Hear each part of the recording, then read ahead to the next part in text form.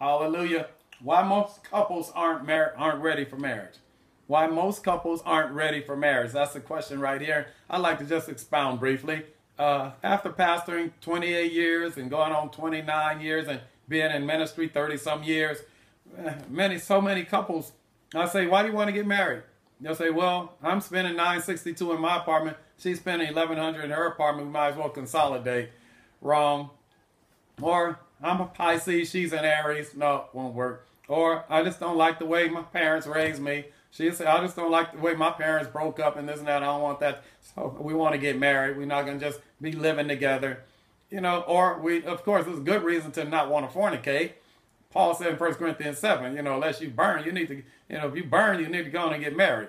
But the primary reason you want to get married, why, why most couples aren't ready for marriage, they don't love each other. That's the answer I'm looking for. It would be nice just hear one couple say, because we love each other. And the love is the agape love, the God kind of love.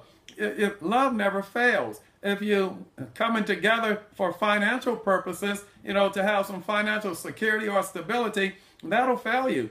Because in a heartbeat, someone can lose a job, stop working, business run out, you know, or business not thriving anymore. Or for companionship, one going after that and the other one wants to wants marriage, you know, all those reasons, those are not the right reason. Or you think you're compatible.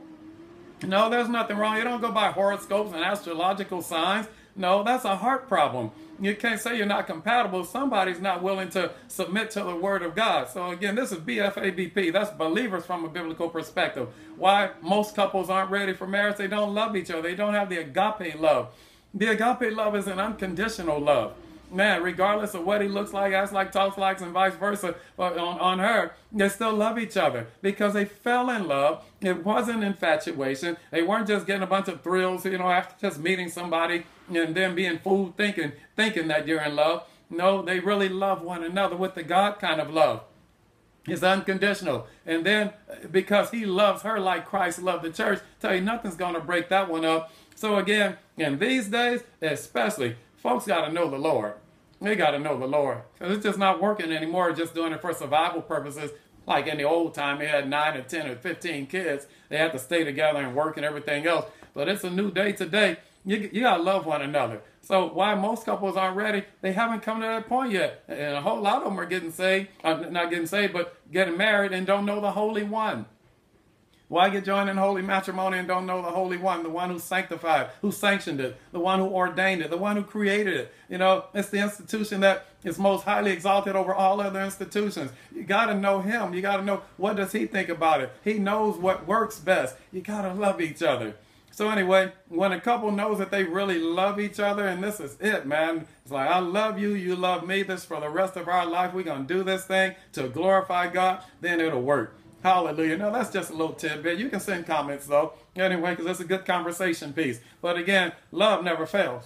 You can't deny that. Love never fails. If you truly love each other, it never fails. Hallelujah. Click subscribe right now to this BFABP.com on YouTube. Check me out on Facebook. Like me there as well at BFABP for believers from a biblical perspective. Check out my website, AnthonyBlackmanMinistries.com peruse the bookstore, see the online, see the events, see all the videos that I have there available as well. God bless you. All my subscribers, I pray for you on a daily basis. I love you. I care for you. In Jesus' name, have a best day of your life.